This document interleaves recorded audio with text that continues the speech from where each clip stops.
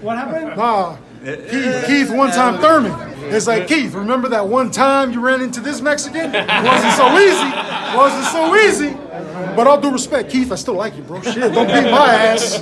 Do you remember Javier Adame when he weighed 400 pounds? 380. Fuck. Sorry, 380. you lost, congratulations. You lost a lot of weight. Thank you. Looking Thank slim. Listen, man, Slim you gotta do right it, now. man. We gotta we gotta work on each other, man. You know, we gotta stay healthy. And this is my trainer right here at Who's Next, baby. Hell yeah. Ruben, Ruben.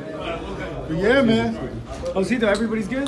What's up, Chief? Aquí hablando Not easy. mierda. It's not easy. Hey, Josesito, man, true warrior, true warrior right here, man. I tell you what, I was at a restaurant watching this fight, and I was just telling my girl, this kid right here, man, he's been through so much, but look at him. Look at him. He's not gonna stay down. He's gonna keep coming, and bang. Everybody, He sounds like the Mexican Larry the Cable Guy. I tell Champ, champ. Yeah, I can sound like whoever, brother, but they don't bring it like I do, man. Josesito Lopez, man, that's the real deal, Who should he fight next? Pacquiao? Who should he fight? Whoever has that big zero behind the numbers, baby, right? Yeah, yeah, right. Big zeros. Let's go, Ellie. I mean, second. All right, man. Where's he at? OG Abel.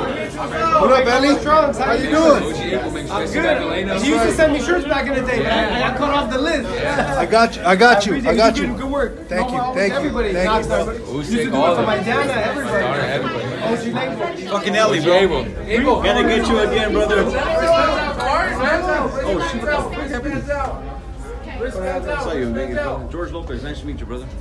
You know, George, you have a famous name. I'm funnier than that, dude. I don't come up with the same jokes. You don't recycle?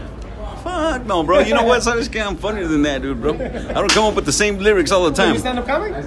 You know what? I should because you know what? I'm funnier than that, dude, man. Remember George Lopez, Jorge Lopez, whatever, man.